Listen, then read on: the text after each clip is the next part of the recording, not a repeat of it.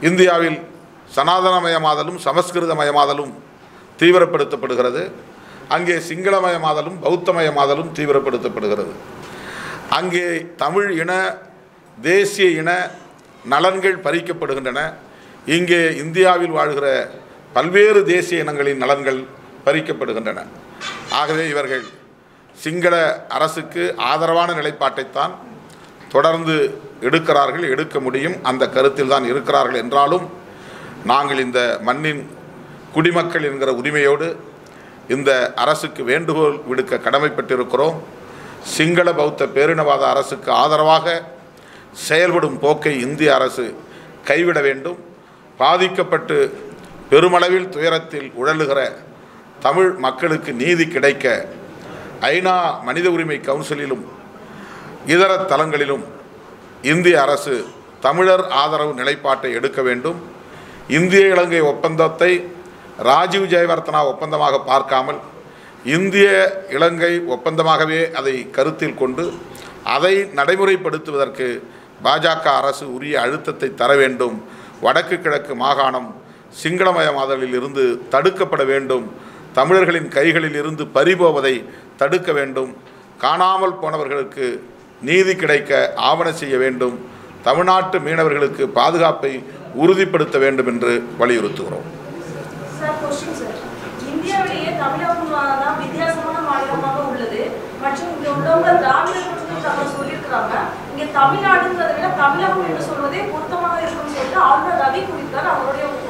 ஈழத்தமிழர் விஷயமான கேள்வியில் கேளுங்க. நாம் இதை இதுக்கான ஒரு எக்ஸ்க்ளூசிவ் இன்டர்வியூ அதை வச்சுக்கலாம். வேற நீங்கள் கேட்டிங்கன்னா அதுதான் வந்து ஹைலைட் ஆகும். நீங்கள் இன்னைக்கு இருக்கிற கரண்ட் ஸ்டேட்டஸ் ஆஃப் தமிழ் இளம் ஸ்ரீலங்கன் இஷ்யூஸ் அவ்வளோதான் நான் அதை தனியாக உங்களுக்கு பேட்டி கொடுக்குறேன்.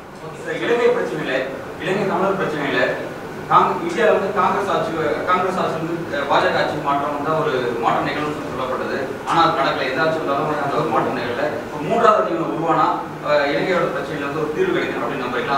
உங்களோட அரசு பணி இருக்கும். இந்தியாவில் மூன்றாவது அணியா? அது ரொம்ப டேஞ்சர் அது. இது சனாதன சக்திகள் மீண்டும் தலை தூக்குவதற்கு ஆட்சிக்கு வருவதற்கு அது வழிவகுத்து விடும். அதையும் நாங்கள் பார்க்க வேண்டியிருக்கு.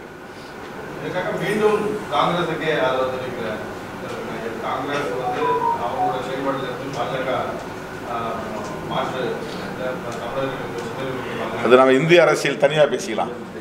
ஈழத்தமிழர்களை வச்சுட்டு நம்ம அந்த அரசியல் பேசுறது ஒரு ஒரு கான்ட்ராடிக்ஷனாக தெரியும் அது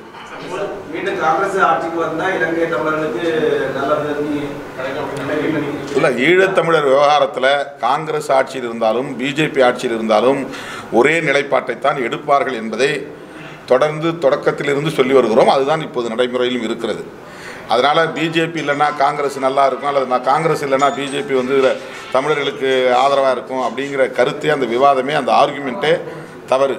ஒட்டுமொத்தத்தில் காங்கிரஸாக பிஜேபிங்கிற மறந்துட்டு இந்திய அரசாங்கம் அது ஒரு அது ஒரு பெர்பெச்சுவேட் பாடி அது. ஸ்டேட் ஆஃப் இந்தியாங்கிறது இந்திய அரசு ஈழத்தமிழர்களின் நலன்களில் அக்கறை செலுத்த வேண்டும் அவர்களுக்கு நீதி கிடைக்க முன்வர வேண்டும். இந்திய அரசுக்கான வேண்டுகோளை நாங்கள் வைக்கிறோம். இதை காங்கிரஸ் ஆட்சியா பிஜேபி ஆட்சியான்னு பார்க்க வேண்டாம். இந்திய அரசுக்கான வேண்டுகோளாக வைக்கிறோம்.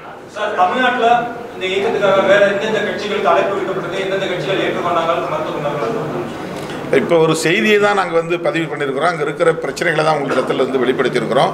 இப்போ இங்கே வந்து எந்த ஒருங்கிணைப்பு நடவடிக்கையிலும் நாங்கள் ஈடுபடலை. இதை தொட்டு எந்த போராட்ட இயக்கங்களையும் இப்போதைக்கு நாங்கள் மேற்கொள்ளலை. அதுக்கான தேவை வந்தால் அந்த மாதிரியான ஒரு முடிவு வந்துட்ட மாதிரி இல்லை அது வந்து ஈழத்து மக்கள் தான் முடிவு பண்ணணும். அந்த கட்சிகள் தான் முடிவு பண்ணணும். தலைவர்கள் தான் முடிவு பண்ணணும்.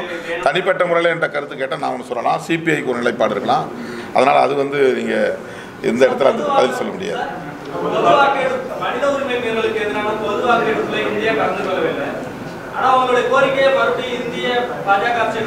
ஆமாம் எதிரியாக இருந்தாலும் பகைவனாக இருந்தாலும் அவர்கள் மூலம்தான் எங்களுக்கு தீர்வு என்றால் கோரிக்கை வைத்து தானே ஆக வேண்டும்.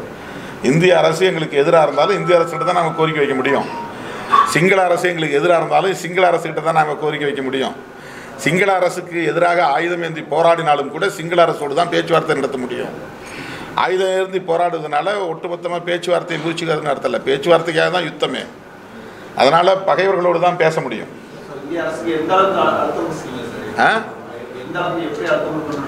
எது? இல்லை இந்திய இலங்கை ஒப்பந்தத்தை நடைமுறைப்படுத்த சொல்லி வற்புறுத்த வேண்டிய பொறுப்பு அதை நடைமுறைப்படுத்த வேண்டிய பொறுப்பு இந்திய அரசுக்கு இருக்கு. அது காங்கிரஸ் ஆட்சி காலத்தில் வந்திருக்கலாம் ராஜீவ் காந்தி அதில் கையெழுத்திட்டு இருக்கலாம்.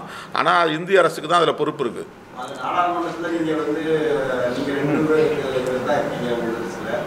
நம்ம தமிழ்நாட்டில் உள்ள எல்லாத்தையும் சேர்த்து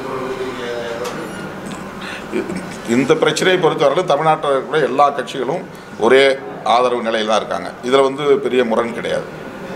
அதாவது இந்த இந்திய இலங்கை ஒப்பந்தத்தையும் பதிமூணாவது திருத்தத்தையும் நடைமுறைப்படுத்தணுங்கிறதுல பெரிய அளவில் யாருக்கும் இட முரண்பாடு கிடையாது. பெரிய இடைவெளி இல்லை. ஆ வெளியுறவு- வெளியுறவுத்துறை ஜெய்சங்கர் அமைச்சர் ஜெய்சங்கர் வந்துச்சு கூட்டமைப்பு சார்பாக பேச தேவைப்பட்டால் சந்திப்போம். அவர் அவர் தனிப்பட்ட முறையில் ஜெய்சங்கர் மட்டும் எடுக்கிற முடிவு இல்லை அது ஒரு அரசு கேபினெட் எடுக்க வேண்டிய முடிவு பிரதமர் எடுக்க வேண்டிய முடிவு. அதனால் அது வந்து அவரையும் நாங்கள் சந்திக்க வேண்டிய தேவை இருந்தால் சந்தித்து பேசுவோம். ஆ? ஆனாலும் அவர் பிஜேபி. ஆ. எனக்கு இன்னைக்கு இருக்கிற உலக சூழ்நிலையில பாத்தீங்கன்னு சொன்னா புவிசார அரசியல் பாத்தீங்கன்னா சீனாண்ட அதிக அளவான ஆக்கிரமிப்பு. இலங்கைக்கு இலங்கை தமிழர்களுக்கு மட்டுமில்ல இந்தியாவின் தேசிய பாதுகாப்புக்கும் மிகப்பெரிய ஒரு பாரிய அச்சுறுத்தலாக வந்திருக்கு.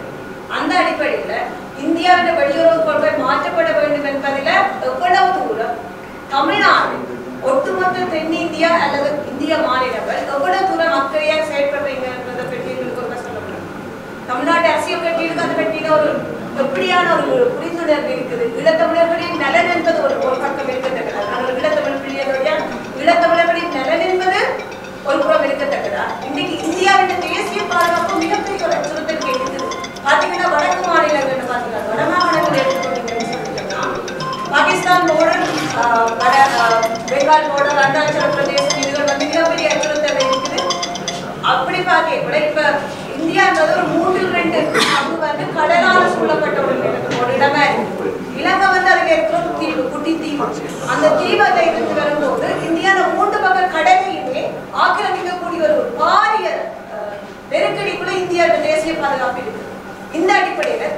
மாநிலங்கள் ஒவ்வாறான ஒரு வேலை திட்டத்தை இந்திய மத்திய அரசை நோக்கி நடத்தி செல்கின்ற ஒரு கேள்வி எனக்கு இருக்கு. அது கூட பதில் என்ன சார்? இது வந்து ஏற்கனவே விவாதிக்கப்பட்ட ஒன்றுதான். ஆட்சியாளர்கள் அனைவருக்கும் வெளிப்படையாக தெரிந்த ஒரு உண்மைதான். நாமே இதை இந்த அளவுக்கு விவாதிக்கிற போது ஆட்சி அதிகார பீடத்தில் அமர்ந்திருப்பவர்கள் கட்டாயமாக இதை அறியாமல் இருக்க மாட்டார்கள் விவாதிக்காமல் இருக்க மாட்டார்கள். ஒட்டுமொத்த இந்தியாவின் பாதுகாப்பை கருத்தில் கொண்டுதான் வெளிவிவகார கொள்கைகளையும் அவர்கள் தீர்மானிக்கிறார்கள். அவர்கள் சீனாவோடு பகை இருக்கிறது பாகிஸ்தானோடு பகை இருக்கிறது. அண்டை மாநிலங்கள் அண்டை நாடுகளோடு அவர்களுக்கு அரசியல் ரீதியாகவும் பொருளாதார ரீதியாகவும் சிக்கல்கள் இருக்கின்றன முரண்கள் இருக்கின்றன பகைகள் இருக்கின்றன. எல்லாவற்றையும் கருத்தில் கொண்டுதான் இலங்கை பிரச்சனையையும் அவர்கள் கையாளுகிறார்கள். அவர்கள் இலங்கை பிரச்சனையில் ஈழத்தமிழர் பிரச்சனையில் சிங்கள இனவாத அரசுக்கு ஆதரவாக நிலை எடுப்பதற்கே எங்கள் தேசத்தின் பாதுகாப்பு தென்பிராந்த் தெற்காசிய பிராந்தியத்தின் பாதுகாப்பு என்பதைத்தான் முன்னிறுத்துகிறார்கள். அதனால்தான் நாங்கள் சிங்கள ஆட்சியாளர்களை பகைத்து கொள்ள முடியவில்லை என்று சொல்லுகிறார்கள். அதை தாண்டி பாதிக்கப்பட்ட தமிழர்களுக்கு நீதி வேண்டும் என்று நாம் குரல் கொடுக்கிறோம். அவர்கள் பாதிக்கப்பட்ட தமிழர்களுக்கு நீதி கிடைப்பதையும் விட தென் தென் தெற்காசிய பிராந்திய பாதுகாப்பு முதன்மையானது என்ற கருத்தின் அடிப்படையில் வெளிவிவகார கொள்கையை தீர்மானிக்கிறார்கள். அல்ல, தமிழ்நாடுங்கிறது ஒரு- தமிழ்நாடுங்கிறது ஒரு- அது அது வந்து அது உண்மைதான். தமிழ்நாடு இருங்க சொல்றது கேளுங்க நீங்க சொல்றது புரிஞ்சுக்கிட்டேன் நான். சட்டசபை அல்லது தமிழ்நாட்டு ஒட்டுமொத்த திராவிட இயக்கங்கள் அல்லது ஒட்டுமொத்த அரசியல் கட்சிகள் அது அதிமுக டிஎம்கே நாம் தமிழர் அப்படியான பிரிவினையில நாங்க பேசல ஒட்டுமொத்த தமிழ்நாடு எப்படியான ஒரு வேலை திட்டத்தை முன்னாடி செல்லுது மத்திய அரசு இப்ப உங்களுக்கு இப்ப பாத்தீங்கன்னா ஜஸ்ட் பதினெட்டு கிலோமீட்டர்ல வந்திருக்கிறாங்க. அப்படி இருக்கும்போது இலங்கைக்கு வந்தது வந்து கிட்டத்தட்ட பதினெட்டு கிலோமீட்டர்ல இன்னைக்கு சைனா வந்திருக்குது. இதுக்கு ஒட்டுமொத்த தமிழ்நாடு என்ன மாதிரியான ஒரு வேலை திட்டத்தை முன்னெடுத்து கொண்டு போகுது? சென்ட்ரல் என்ன உங்களுக்கு தான் முதலாத பிரச்சனை வரப்போகுது. இப்ப நீங்க problem- புரிஞ்சுக்கிச்சு நீங்கள் சொன்ன கேள்வி புரிஞ்சுச்சு இது வந்து ஒரு மாநிலம் கொடுக்குற அழுத்தத்தால் ஒரு அரசு உடனே பணிஞ்சு வரும்னு சொல்ல முடியாது. ஏன்னா ஒரு மாநில அரசுக்கு முதல்ல வெளிவிவகார கொள்கையில் தலையிட முடியாது. ச- மத்திய அரசு யூனியன் கவர்மெண்ட் தான் இதில் தலையிட முடியும். இங்கே நாற்பது பேர் பிரதிநிதியாக இருந்தாலும் மொத்தம் ஐநூற்றி நாற்பத்தஞ்சு எம்பிக்கள் இருக்கிற அவை தான் நாடாளுமன்ற அவை. அப்போ அதில் வந்து அவங்க வந்து தமிழ்நாடு எழுப்பக்கூடிய பிரச்சனைகளை அவங்க ரொம்ப லீஸ்ட் பாதர் அப்படிங்கிற அடிப்படையில் தான் இதை வந்து அணுகுறாங்க. இதுதான் காங்கிரஸ் ஆட்சி காலத்தில் இருந்தது இதுதான் இன்றைக்கி பிஜேபி ஆட்சி காலத்தில் இருக்குது.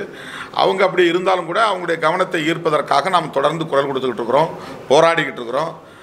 கடந்த காலங்களில் எப்படி இதில் முழுமையான ஈடுபாட்டோடு பங்களிப்பு செய்தோமோ அது மாதிரி தொடர்ந்து பங்களிப்பு செய்வோம். இந்திய அரசின் கவனத்தை ஈர்ப்பதற்கு எங்களால் ஆன எல்லா முயற்சிகளையும் மேற்கொள்வோம்.